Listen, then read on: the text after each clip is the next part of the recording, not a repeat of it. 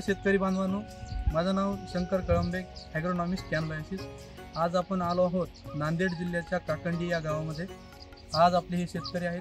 तर यांच्याबद्दल जाणून घेऊया आणि यांनी आपल्या शेतावर या तुरीच्या क्षेत्रावर कॅनबायसिसचे काय काय प्रोडक्ट यांनी वापरलेले आहेत आणि यांना कशा प्रकारे रिझल्ट आलेले आहेत हे सर स्वतः सांगतील. नमस्कार.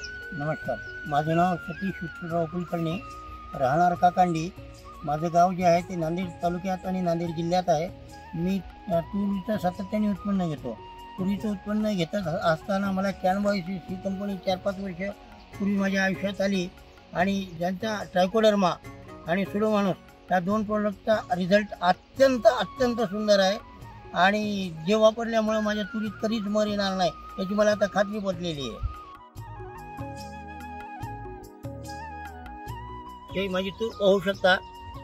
ही बी डी सातशे सोळा जातीची तूर आहे आणि याच्यामध्ये सगळं जे व्यवस्थापन आहे ते कॅनबॉयसेस कंपनीचं आहे. ती खुडाची रचना पाहू शकता. याच्या याच्यामध्ये तुम्हाला कुठेही मर दिसणार नाही मुळकुल नावाचा प्रकार दिसणार नाही. याच्या फुटव्यांची संख्या दिसेल तुम्हाला त्यांच्या पाळांची संख्या दिसेल. भरपूर वाढ झालेली आहे. जितक्या फांद्या तितक्या शेंगांचं प्रमाण जास्त आणि त्याचं उत्पादन जास्त. त्याच्यानंतर यांच्या फवारणीमध्ये मी ब्रिगेड बीचा वापर करत असतो. त्याप्रमाणे म्हणूनचाही वापर करत असतो.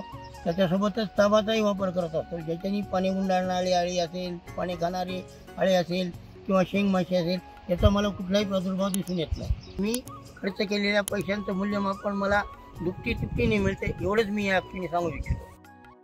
खेती की जान कॅन बायोसिस अधिक माहितीसाठी आजच संपर्क साधा.